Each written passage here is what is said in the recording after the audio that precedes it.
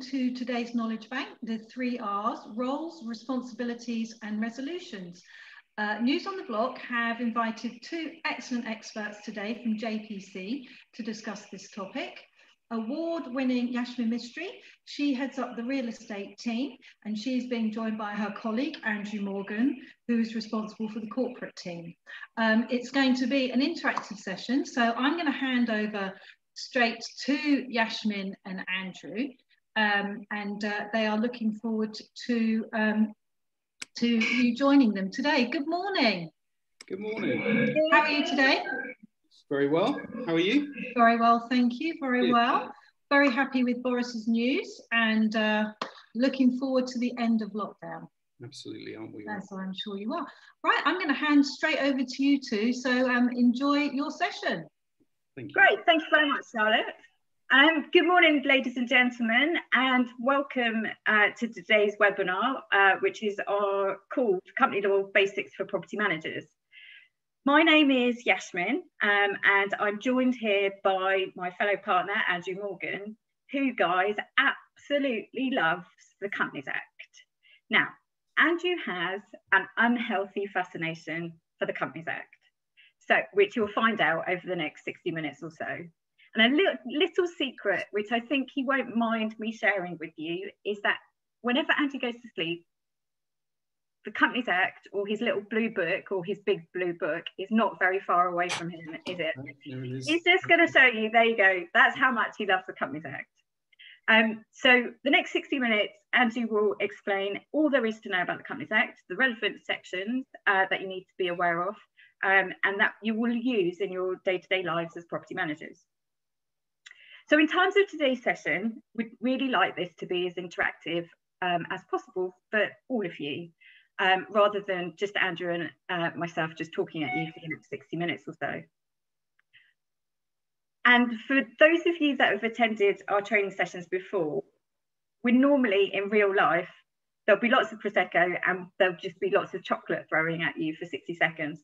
Unfortunately, we can't really replicate that over the vir virtual web um, effectively. However, there are two ways in which you can get in contact with us or uh, raise any questions that you've got with us throughout the session.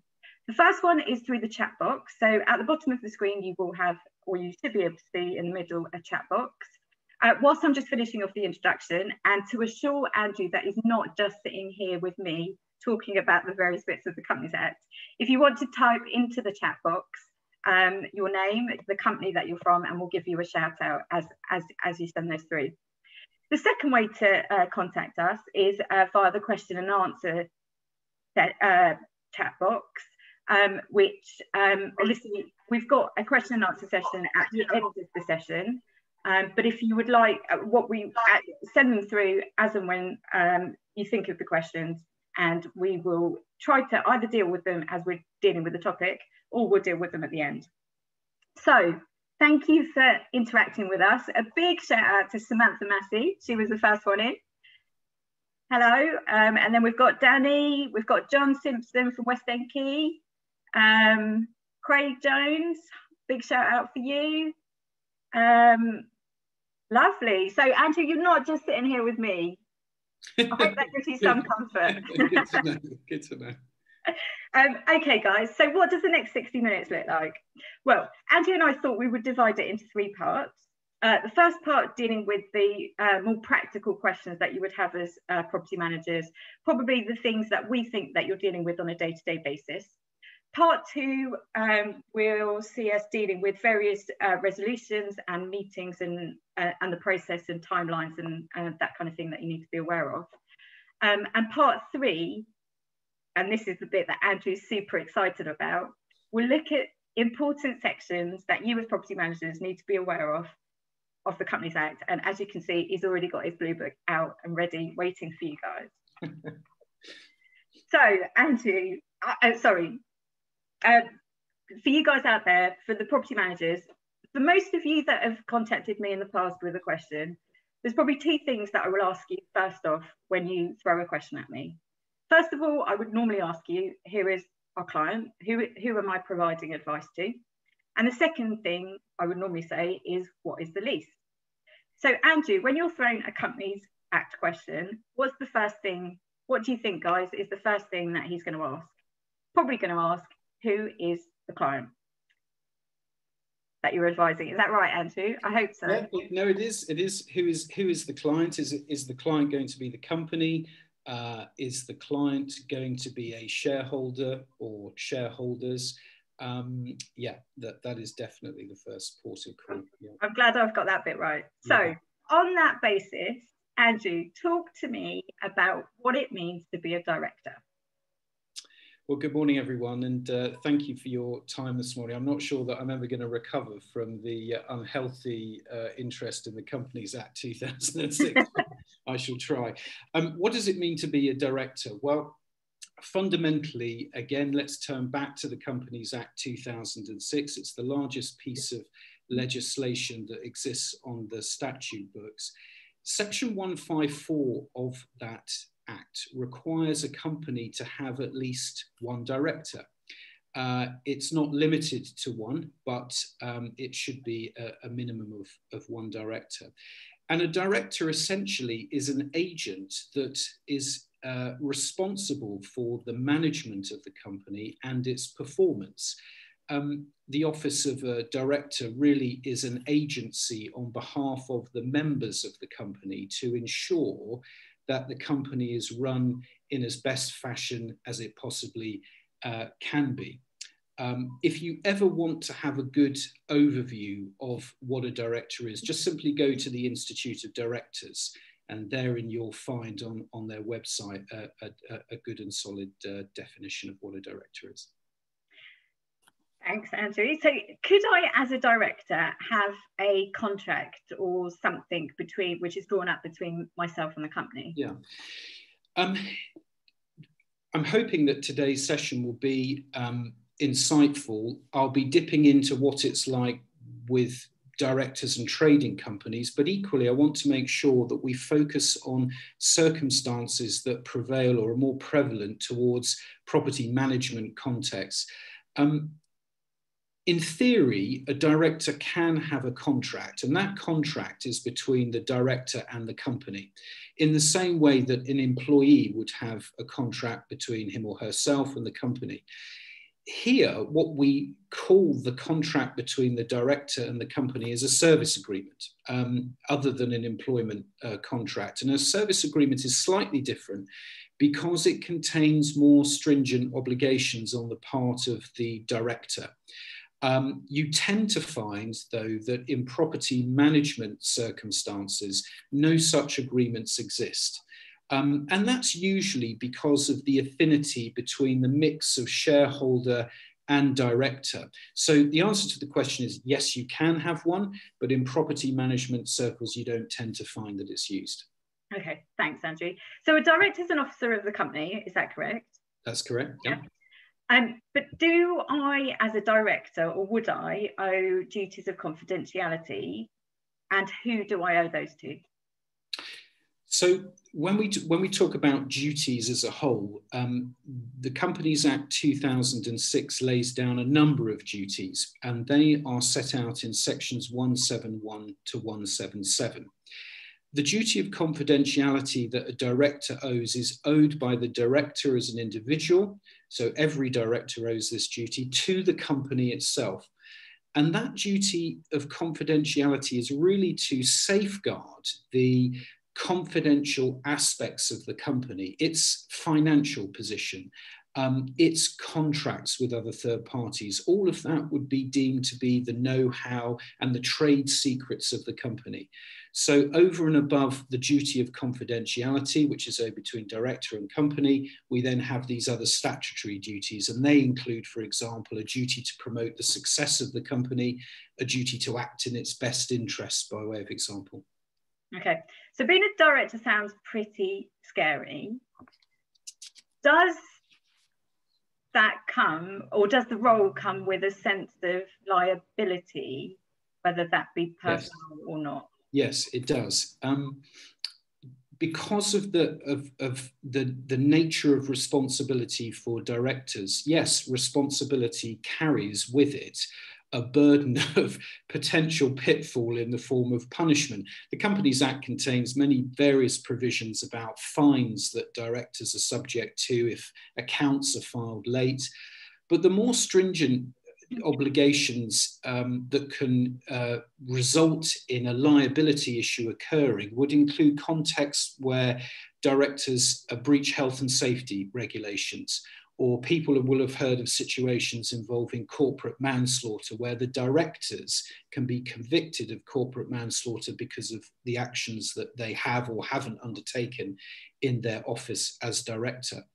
I think it's also worth pointing out that probably some of the viewers will have seen that articles will carry an indemnity at the back of the articles in favour of directors.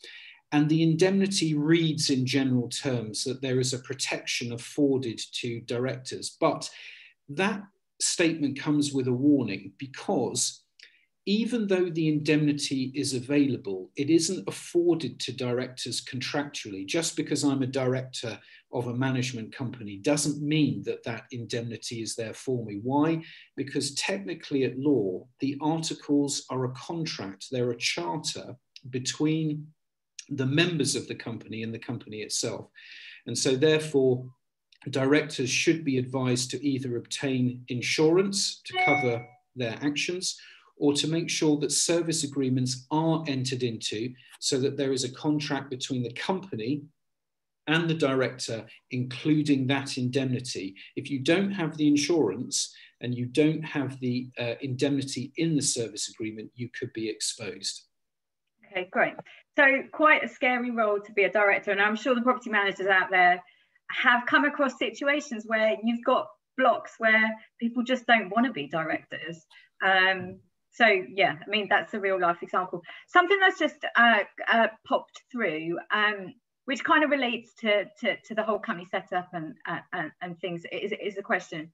So for the protection of directors or shareholders, is it better to have uh, the freehold company or the nominee um, as uh, limited by guarantee or by shares. I am not sure whether that deals with the protection, but can you talk to us a little bit, sorry, about the difference between limited by guarantee and limited by shares? Yes, I mean, I think that, I mean, the, the general answer to the question is that both are trying to achieve the same principle. If we take a company limited by guarantee, the members of that co company are their, their liability is limited to usually a set amount that is uh, a set amount, a set sum, and it can be twenty pounds or ten pounds or whatever. Mm. Um, but that's particular to members of a limited company by guarantee. With a private limited company, a private limited company by shares, the principle is still the same. That my personal liability is limited to my uh, to, to my the, the, nominal value that I've paid for the shares. So they're both they're different corporate beasts, but they're both un, under, underlying the individual corporate structures is the same principle. Um, they're both looking to protect members. Uh, in the case of companies limited by guarantee and members oblique shareholders for private limited companies from exposure uh, to claims, for example. Great, thank you very much. And obviously, a right to manage company, you can only have a right to manage company which is limited by guarantee right. rather yeah. than limited by share. Okay, thank you. So that's directors. Company secretary. So I have heard, and I don't know whether I've heard correctly, but the Companies Act doesn't necessarily specify the role of the company secretary. Is that right? And yes. if so, what does it mean to be a company secretary then? Yeah, so in April 2008, the law changed to the extent that prior thereto, we had, um, or companies had enjoyed the formality of a company secretary being appointed. And the company secretary really does what it says on the tin, in as much as that that individual is in charge of the administrative affairs of the company, filing the accounts, making sure that annual returns or in new money confirmation statements are um, filed on behalf of the company. Um, but in April 2008, that obligation, that statutory obligation to have that person in office actually went away. And so what we're left with now is um, a situation where companies can exclude a company secretary from being appointed if they choose to do so. If you would like that functionality, however, and a lot of companies do, then of course you can still affect a company secretary appointment. And it is a very useful um, person to have on board to complement your team, but not everyone wants to, to necessarily have that individual. Yeah, so in practice, I think most managing agents are for ma property management companies tend to be, form this company secretarial yes. role essentially mm -hmm. um, for, for the viewers out there. Yes. Okay, thanks, Andrew. So uh, that's company secretary and that's the directors. Um, a term that I've heard used more often is something called a person of significant control. Mm -hmm. um, what is that um, and why? Can you explain a bit about why yeah. that role has been created, please? Sure, yeah. So uh, over the course of the last 10 to 15 years more particularly, I think it's fair to say that um, Western governments have tried to incorporate more of a transparent um, operational existence for companies that get formed. And this change in mentality came about after the financial crisis of circa 2008, where a lot of companies were taking money offshore and governments realized that there was a definite need to make matters more transparent because Western economies were in tatters and there needed to be some whole scale um, move to repair the way that companies could behave. Bringing it closer to home, as far as we're concerned, um, legislation was introduced to ensure that these people of significant control, or PSCs as we abbreviate them to, are named on the company's register at Companies House. So when you go into um, search for a company, you will find under the people element that there will be listed therein a PSC or PSCs. And those individuals are people that hold more than 25% of the share capital in the company and are entitled to 25% or more of the voting rights enjoyed through holding that share capital the obligation, so far as a PSC is concerned, is to make sure that the individual um, properly records all of their details at Companies House, and those details include uh, obviously their full name, uh, their residential address, and so forth and such like. When a PSC changes, and this would occur, for example, if you had a company with, you know, 10 leases overall, and five of them were owned by one person. The, the law requires uh, uh, you to address the filing of that new individual's information within a period of 14 days. And if you don't, then the board uh, is subject to a fine if that criteria isn't adhered to. Okay, thank you very much for clarifying that. We've got two questions that have come in, uh, which I think should be easy ones to answer. Um, if the memorandum and articles of association re do require a company secretary, mm -hmm. does the Companies Act 2006 overwrite that requirement, uh, which is set out in the articles? Yeah, it's a good question. Um, the, the, answer to that is no. The articles continue to prevail, uh, and of course, you you tend to find that um, you've got one or two ways to, to proceed. Either the company secretary is still a very useful um, position to, to, uphold that the company wants to continue, in which case you carry on with it because the Act doesn't act retrospectively to remove those persons pre 08. Um, or to the extent that the articles say that that individual is required, um, but it's clear that it's no longer necessary to, to affect the position, um, that, that that individual can either resign or the board uh, of directors can vote to remove them. And those are the only two ways that you can deal with. So just because the person is set out to hold office within the articles um, and the law since 08 has changed the situation doesn't mean automatically they go by the wayside. In fact, a lot of companies will want them to continue. Um, I hope that answers the, question. Right, thank you. Um, and I think this is a question that you, uh, possibly I may know also, but are members the same as shareholders? Do you want to go ahead and answer no, that? No, no, no, because I'm scared that I'll get it wrong. So you go. You are the knowledge of no, no, no. I mean, look, lawyers tend to use the simple answer to the question is shareholders are the, the same as members. Um, you tend to find that, and we'll go back to this position in terms of a company limited by guarantee. Members is the actual um, name that's given to the shareholders in quotes because they're not they're not shareholders they are members. So they kind of mean the same thing certainly with private limited companies. People use the terms interchangeably with one another. But in actual fact um, you you can have a distinction between members and shareholders. Is that is that what you were thinking or did you... I think that's exactly what I was thinking. Thank you very much Andy okay. um, so that's the key players effectively of a um, company uh, that property managers would generally uh, come across. Um, so in terms of practical day-to-day issues that property managers deal with, um, a question that I was asked literally last week by a property manager uh, was um, a situation where um, the freehold company was um, sorry, there was this freehold company uh, set up. Some of the flats had shares in the freehold, some of them didn't. Um, and the directors were approached by a developer to see whether there was appetite at the, at the development for a rooftop development. Mm-hmm. Um, so the question that most property managers kind of tend to ask is, are, is there a quick way of finding out from the articles whether certain decisions have to be taken by the board or whether certain decisions, like in this development case, would have to uh, then be, you know, the shareholders would, or mm. members would have to be consulted. Yeah, yeah.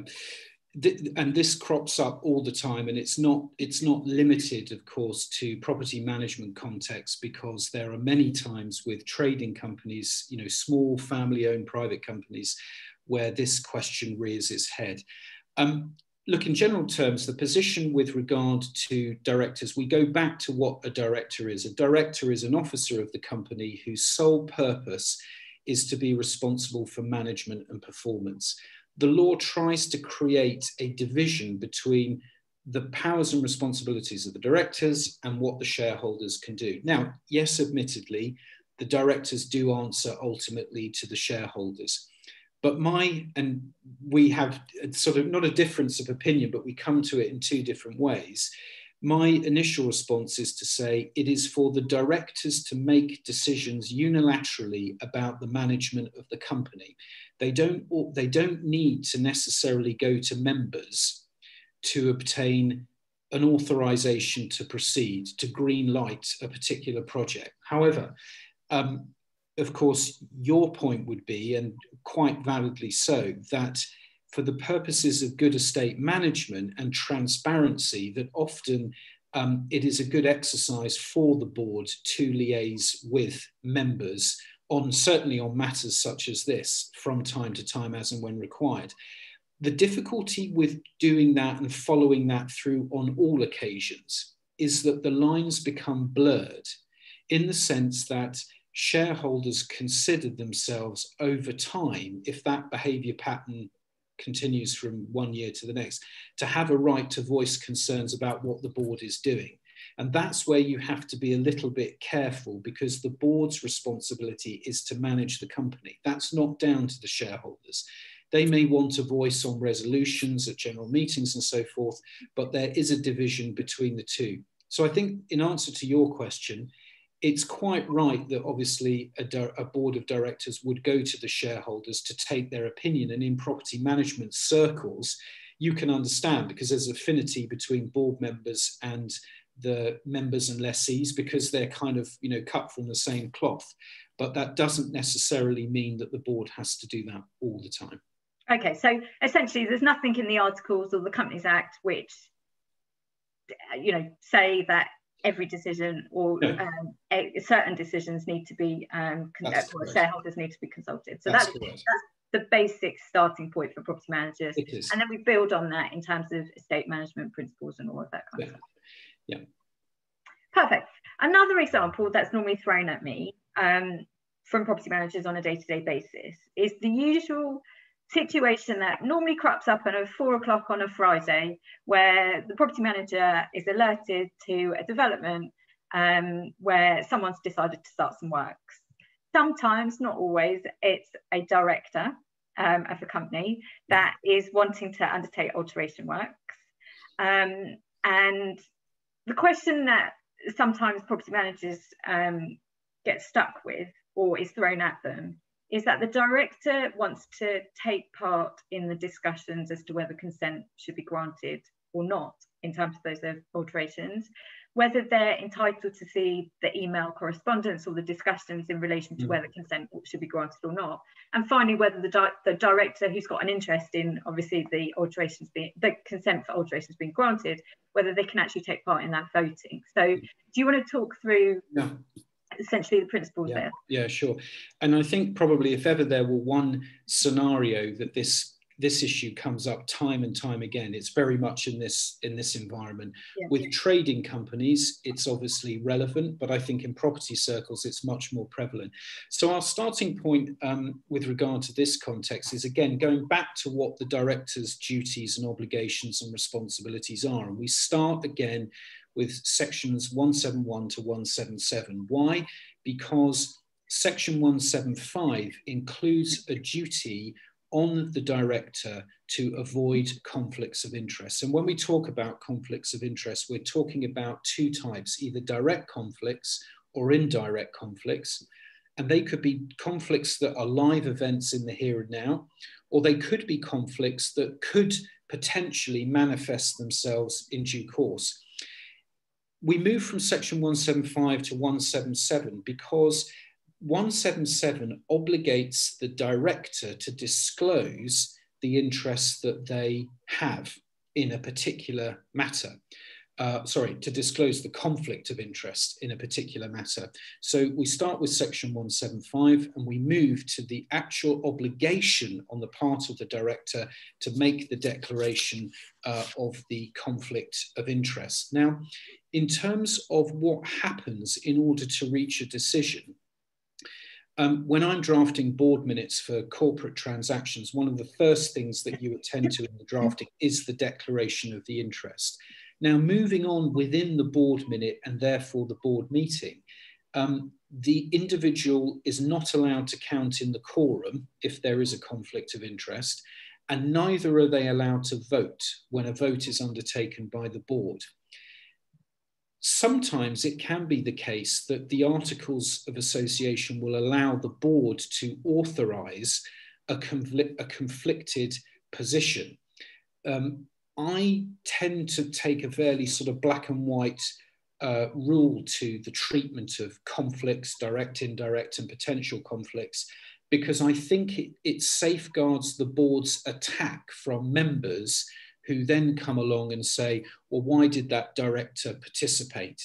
Often explaining the technicalities of what the articles allow um, seems to be like pushing water uphill. It's just easier to say that if a director has a, is conflicted or there's a reasonable um, prospect of a conflict of interest, just exclude them from um, the meeting and proceed like that. Okay, thanks very much. Um, so before we move on to virtual meetings, which is a hot topic at the moment, we've just got some um, small questions that have come through um, that relate to directors and roles and responsibilities of companies, which is probably a good time to deal with them. Mm -hmm. So uh, one question that's come through is there is there anything wrong with an RTM director asking for a salary for their time commitment? do you want to what would you what would you say before i answer that what would you say in the first instance no that's putting me on the spot you're the expert here no, no, no, um, you um, it's i mean it's a question that comes across in practice quite a lot of the time. Um, in terms of it's most of my right to manage clients um, their directors don't take salaries um, because but I understand on the other side, it's the time commitment um, that, especially in the bigger blocks, um, that um, people are giving up because everyone's got their day jobs and at the same time they're trying to deal with the management of it. It's not, I don't think it's particularly um, an issue with right to manage company directors. I think that happens with freehold company directors, um, management company directors, that they do, there is a lot to take on. Um, on the smaller blocks, obviously, the day-to-day management um, effectively is farmed out to managing agents that deal with the recovery of service charges, Section 20, all of that kind of thing. So the directors have their meetings. But I do understand it is a bit of a, a pressure, and it's a question that's asked all the time. So yeah, I would absolutely agree with that. I think probably the, the points that I, I, would make in, in conjunction with what you've said are as follows um, sometimes you will find in the articles of association that they allow for professionals such as lawyers and accountants to be able to levy a fee for the services that those individuals provide in a professional capacity. That seems reasonable because if you think about it, they probably would do it at a discount, I'm sure, but equally, if if they didn't provide those services, the company would then have to go out and contract to get those services coming in. So they'd end up paying for them anyway. So you may sometimes you don't tend to find them in modern sets of articles anymore, but you do tend to find them in older sets of articles of association. Um, but yes, absolutely, you're right. You know, it doesn't tend to be the case in property management circles that charges um, are levied by directors. But equally, I'm always of the view that you can actually find some very, very capable individuals on the boards of these management companies that bring a lot of experience and skill to the company that ultimately can save it money. And so, my question is the starting point is what is the capability set of the individual? What value are they bringing to the company? And sometimes there is a legitimate value which underpins the fact that they should be paid. Yeah. The other thing to think about, obviously, is whether, yes, it's all very well being able to, uh, directors to uh, claim a salary. Um, but the question then is under what provisions do you recharge that to the leaseholders. So yes. where does the salary come from? Because yes. um, obviously you've got the lease, which sets out what you can and cannot put through the service charge as mm. expenditure. Mm. Um, and then you've got the articles which say possibly something different. Now, where you've got a freehold company, for example, or a right to manage company, where not everybody across the board are going to be members of either the freehold company or the right to manage company, the question is, is that putting an extra burden on those mm. that have exercise the right to manage or exercise the right um, sorry the freehold purchase or the collective mm-hmm. um, to then you know pay a director um, via their hat as shareholder because that cost can't be put through the lease if that yes, makes sense it does yeah it does um, uh, talk about articles and um, a question that's come through can we adopt any of the latest acts so I think this relates to some of the articles still um, referred to or still subject to the Companies Act 1948. Can they change their articles? They, they, they, they, yeah, they can. Um, we're tending to find, or we have found over the course of the last 10 years, that moving from uh, those companies, those historic companies with the Companies Act 1948, and I still, every year, I still come across, even with private trading companies, it's always a surprise. But yes, you can do. Um, we'll get on to shortly how one amends up or how a board or shareholders amend up articles of association, what you have to do. But the Companies Act 06 introduced a model set of articles. Now, I'm going to concentrate here on private limited companies just by way of example, but it's very easy actually to move over to a new set of articles because there's a published, does what it says on the tin set that the majority of companies that clearly all companies that were incorporated after the Companies Act 06 came into being were adopting and they're finessed in various different ways. But yes, the answer to the question is you can amend and change. We're giving away the answers to the, the scenarios well, that are coming up. Sort of. um, okay, virtual meetings, hot topic yes. at the moment. Um, obviously, with COVID, um, you know, some meetings have taken place, AGMs may not uh, or may may have met or may not have taken place. Um, I know or I've heard something about a moratorium being in place till the 31st of March, I think. Yes. Um, so the question, Andrew, is um, should directors be thinking about changing their articles? Because like ways of working, people have got used to working from home and the new way of working practices is probably going to be a mix of working mm. from home and working in the office. Yes. Similarly with companies, um, should directors be thinking about changing their articles so they can do meetings virtually and AGMs virtually, um, or should they just sit back and wait for the government to amend legislation? Yeah, um, you, are right. It, it is a it is a hot topic, and it and certainly through COVID, it's it's an inquiry that's come up mm-hmm. from clients from time to time. Um, where does the law stand at the moment? Well, the Corporate Insolvency and Governance Act of 2020, um, which was introduced essentially in the heart of COVID has allowed companies, because of the restrictions that we're under, because of lockdown, etc., to hold these virtual general meetings. Um, and of course, you're right. The question is well, once that moratorium ends at the end of March, what do we do? Can companies now continue to enjoy what COVID has introduced because we've had to get used to it, which is the virtual nature of what we're, what we're doing today. I think the first thing to say is that Section 360 of the Companies Act already foresaw back in 2006 um, the increasing ability for companies to introduce technology for the benefit of members.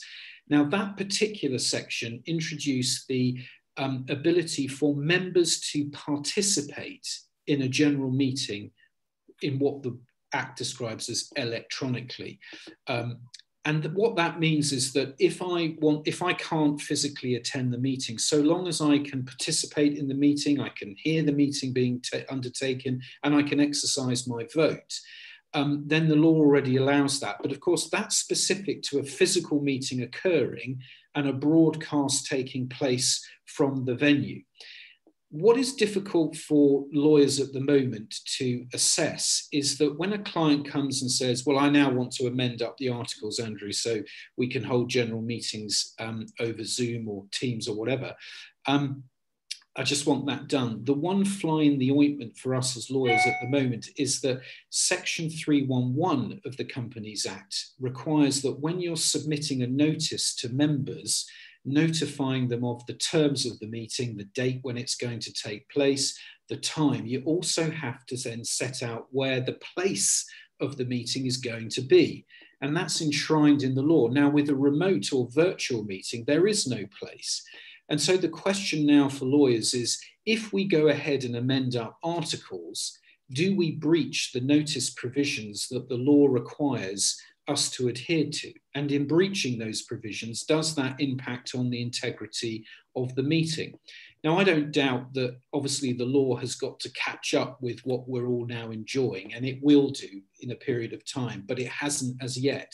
So the options are at the moment, as you suggest, uh, they are either we wait for the law to catch up and leave articles as they stand at the moment, um, which is my preference for the time being, or you can go ahead and mark up the articles and just hope that, of course, you know, uh, it'll be all right on the night, as it were, and that there won't be ramifications for breach of Section 311.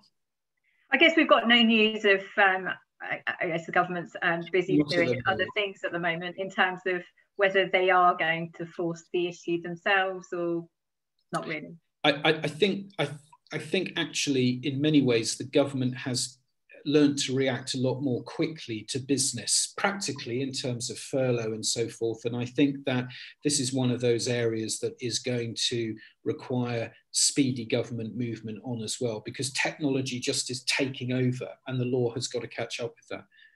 Okay. Thank you very much. Right, so we've got some practical scenarios, and I think we may have given some of the question, uh, the answers away to these scenarios. So, um, hopefully, everybody, I'm just about to share my screen and go through some practical examples. So, hopefully, you can see this. We've got situation A on the screen. Uh, this is Andrew. This is where we have been approached by um, a lessee owned freehold company. And the freehold company wishes to change its name and it also wishes to make changes to the articles. Now, changes to the freehold uh, company's article or the registered name must be passed by written uh, must be passed by resolution of the members as opposed to the directors. So could you talk us through the simplest way of putting that into practice in terms of um, not having to call for a general meeting?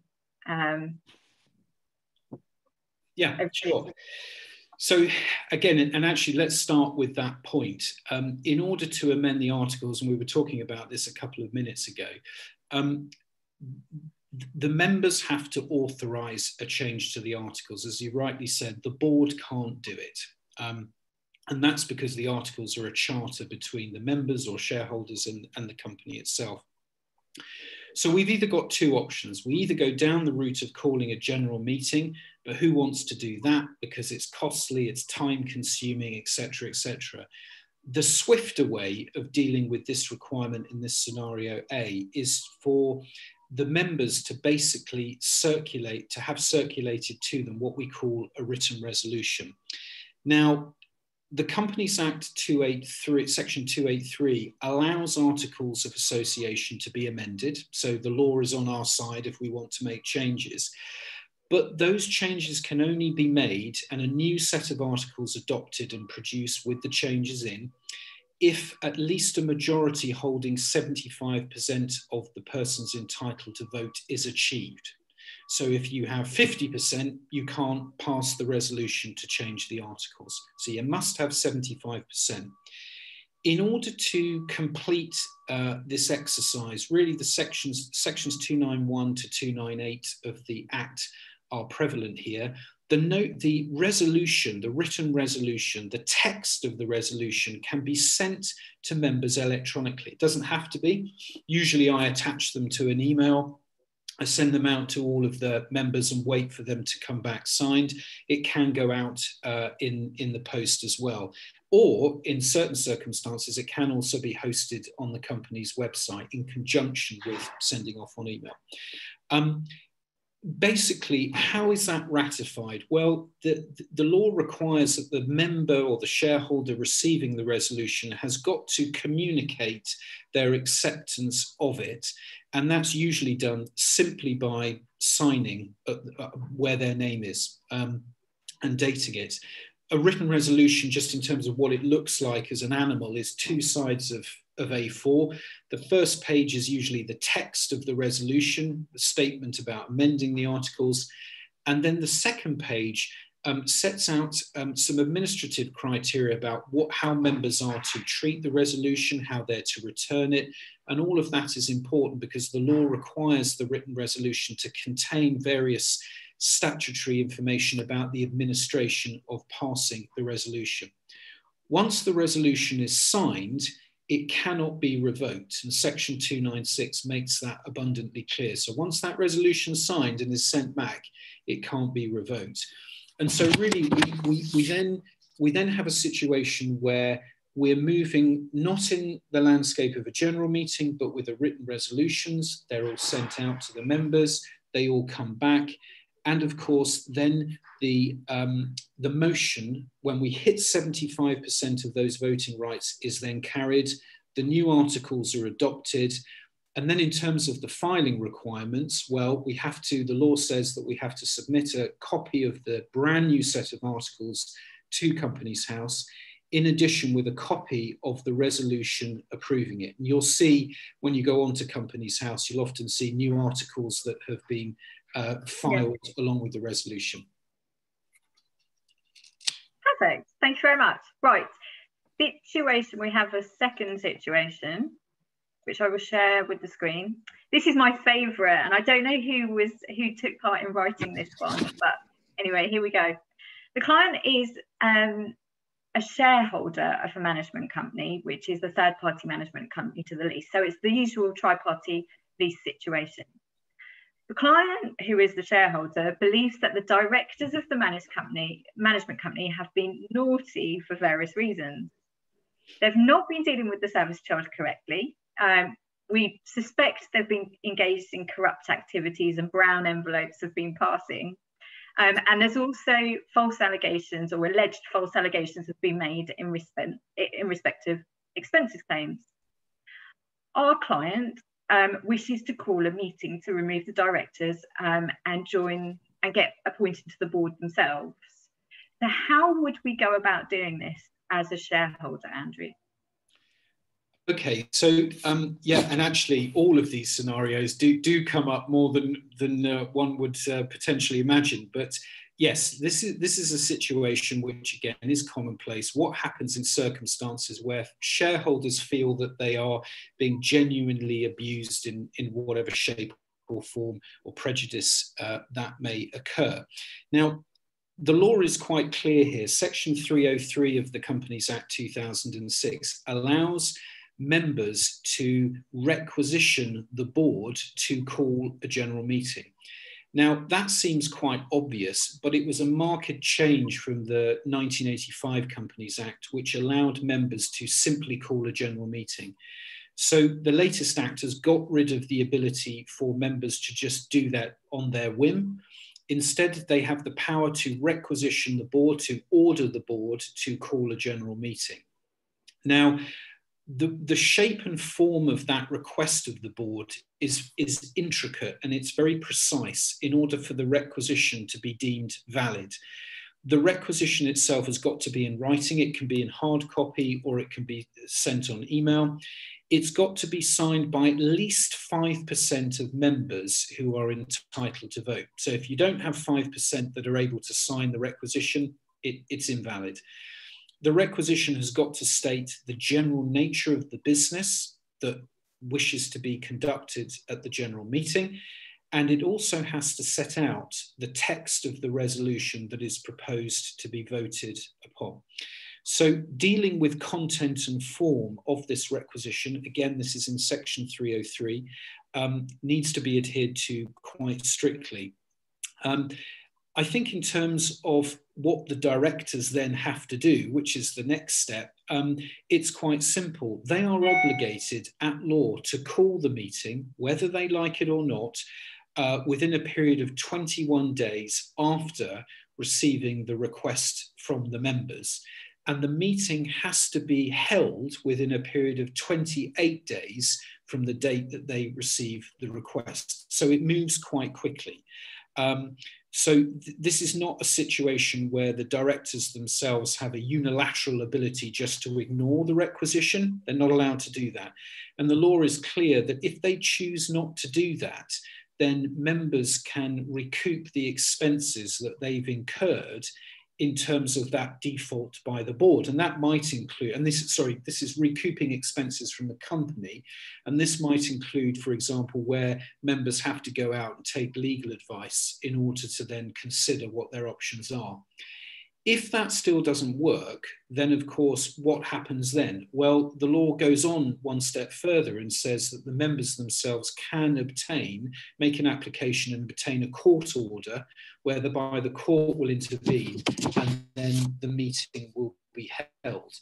So we go from what happens because of the problem to what the members do to how the directors respond and then hopefully without the court's intervention holding uh, the meeting as a consequence of that okay that's quite an interesting one for property managers because that i think uh, comes across comes up quite more frequently yeah. um, right scenario three. Oh, and I should, oh, yeah. should say just sorry one one more point to add on to that um, in a sense, I missed the most important thing, and that is to say that to the extent that the members want to remove a director, the power to do so is contained in the Act at section 168. And that means that in order to remove a director or directors, you need an ordinary resolution to pass uh, the motion requiring 50% of the voting. Okay, so you can remove the director. Section 168 is the authority, and you need an ordinary resolution to do that. All right. Thank you. Um, scenario three is the company's articles of association do not allow the board to appoint members to the board of directors. In order to achieve this, what kind of meeting would we need to call, Andrew? Okay, so here we've got uh, an alternative to amendment of the articles. Our scenario A looked at circumstances where we didn't want to hold a meeting, that we wanted a swift turnaround, and so therefore we proceeded by way of the written resolution option. We know that there are only two ways for members to vote on an amendment to articles. Uh, that's through written resolution or general meeting. So in this last scenario, this is affecting change to the articles through holding a general meeting. So what type of meeting are we holding? Well, it's just a general meeting. It will just be the board, uh, in this instance, calling for a general meeting. Now, in order to do that, um, the, our starting point is section 302 of the Companies Act, which empowers the board to call a general meeting on behalf of its members. Now, I'm sure that a lot of the viewers will know that in terms of calling a general meeting, there are certain steps that have to be taken to ensure that the meeting is held you know, validly. And one of those um, aspects, one of those administrative requirements is the insurance that 14 days clear notice is given of the holding of the meeting. And we know that, of course, we also need to make sure, because we've talked about it in the context of virtual meetings, that the notice has got to set out um, details of the general nature of the business to be transacted at the meeting, in this case, the amendment of the articles, um, it's got to set out the full text of the resolution that members are going to be voting on. And it's also got to include a statement allowing a proxy to attend on behalf of a member as well. And anyone that's ever read articles of association will know that they that they oh, is it just me that they um, they they include this uh, right for a proxy um, to be voted upon. The notice can be given in electronic form or hard copy, sent to members, and the meeting is then held. And at that meeting, then the resolution will be passed to amend the articles. And again, same format as with the written resolution approach, which was um, at the end of the meeting, what do we do with Companies House? Well, we need to basically uh, submit a copy of the new articles that have been amended in tandem with a copy of the special resolution, because as we know also, you can only amend the articles with a, a special resolution, so that has to be filed as well. Mm. Perfect. Thank you very much, Andrew. I know we've got, we're running out of time and I don't want to leave the webinar without doing the bit that you've been super excited about doing, which is the relevant parts of the Companies Act, I do believe. So I have a hat and I've got different sections of the Companies Act, and I'm just going to test you. Right, go on then. You ready? Yeah, go. You ready? Yeah. Okay. So first one that's been pulled out is section 303. What is that? So section 303, we've we've covered that before. That is the power of the members, we've just talked about it, to requisition the board to call a general meeting. So, people, this is why Andrew goes to sleep with the Companies Act and his blue book by his pillow because he knows all about this, and this is what makes it him excited. Right, next one. The next one. Ready, ready? Yeah. Section 168. I remember this. You've you've covered this already. We've so section 168. Yeah. Can you remember what it can you remember what I said? it's the basis for removing a director by ordinary resolution. You, you just read that off. I off, did read that, yeah. yeah. Yeah, you just read that. No, you're absolutely right. Ordinary resolution. So in our last scenario, we were talking about how what's the authority for removal, and it's 168, and it requires what percentage of votes? You remember that? Um, 50%. 50%? 50% ordinary resolution, yeah. I didn't I didn't read that. Okay, next one. Before we come on to questions. Oh, okay, this one's a big one. Okay. So we've got 113. What's yes. that about? Uh, so section 113 is a I think it's a legal obligation on the company to make sure it keeps its register of members. And that's significant because um,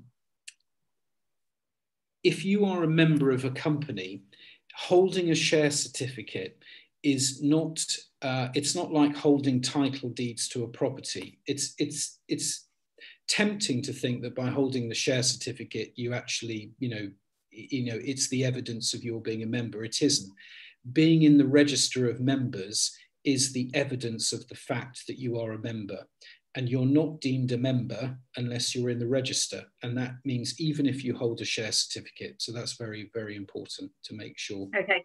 That's, yeah, that's something that comes up with us. We're thrown at that. We're thrown yeah. at that because um, loads of times leaseholders come to us and they've got a share certificate, but they're, they're if you look at the books or the mm. uh, filings at Companies House, they're not up to date. Which so the myth is uh, incorrect. It's the filings that are important, or the stat books that are important rather than the company, um, the yes. share. Yes. Okay. One more before we go on to questions. Uh, section 303. What does that? What's that about? Um, well, section 303, I think we've just covered that. I think that was the first one we did. Oh, 302. Um, 302. So 303 is the, uh, yes, so 303 starts with our members' power to requisition the board. And then we move on to um, the, that section concerns itself with the director's power to then call a general meeting uh, if, they, if they're obligated to do so. Yeah. Well done, you passed the test. okay, um, we've got a couple of minutes left. I think we've got like three minutes left before uh, we will get thrown off. Uh, okay. Uh, just looking at some questions okay. that have come through. Um, we've got lots of questions about, um, well, it's centered around the theme that where you've got directors, um, or uh, sorry, you've got a company where people are just not wanting to be directors. What happens in that kind of situation? Yeah. What happens if no, nobody wants to be a director? Well, um, the, the company, as we said at the beginning, has got to have at least one director. Otherwise, you know, the, the shareholders, you know, they've got, they've got trouble on their hands.